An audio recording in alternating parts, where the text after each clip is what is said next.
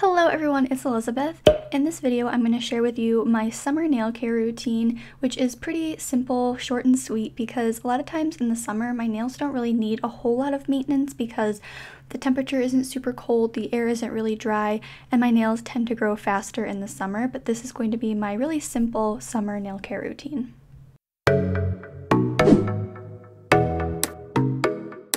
The first thing that I would do once a week or anytime I'm about to switch up my manicure would be to gently push my cuticles back.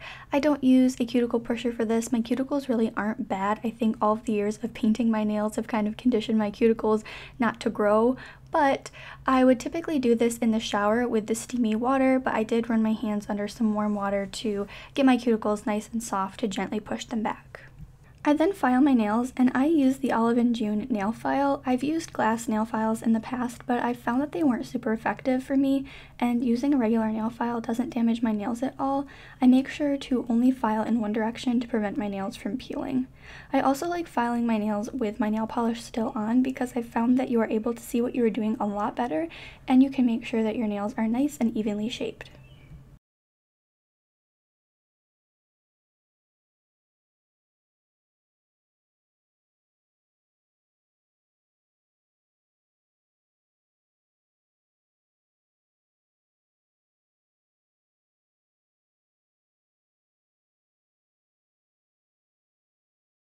To remove my nail polish, I do use 100% acetone.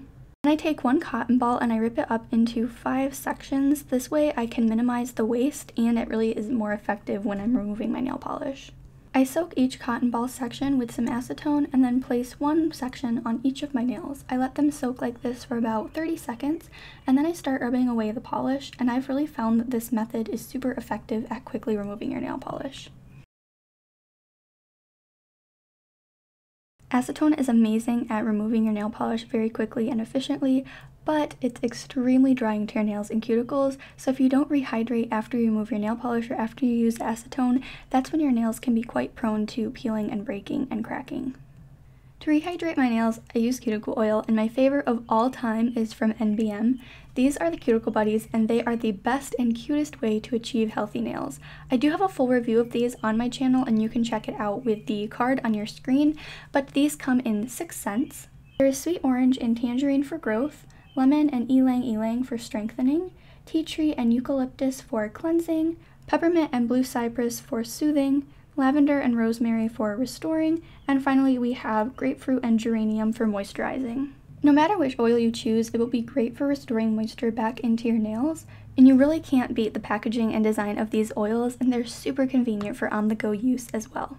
I'll be using the Restoring Lavender and Rosemary Nail Oil. I'm just taking the roller ball and rolling it onto my nails back and forth two or three times and then rubbing it in. Again, if you would like a full review and overview of the packaging and style of these products, I really encourage you to check out my full review where you can see a complete overview of the product. I promise this is not sponsored. I'm just really blown away by the effectiveness of these oils. I've used them for a little over two weeks now and I've seen huge improvements in the health of my nails. After the oil has had a chance to soak into my skin, I then take a cleanup brush soaked with some acetone and clean my nail bed. This is to prep for painting my nails, and I recommend using a brush opposed to a cotton ball because this way you can prevent getting cotton fuzz into your manicure.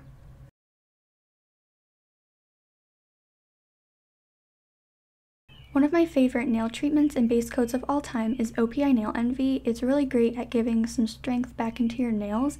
I use it as a base coat, but I also just use it on its own, especially this week. I have a lot of videos that I need to film, so I can't paint my nails right now, but it's going to be great, especially when I want to take a shower or wash my hands. I'm not exposing my bare nails to water because that's super damaging.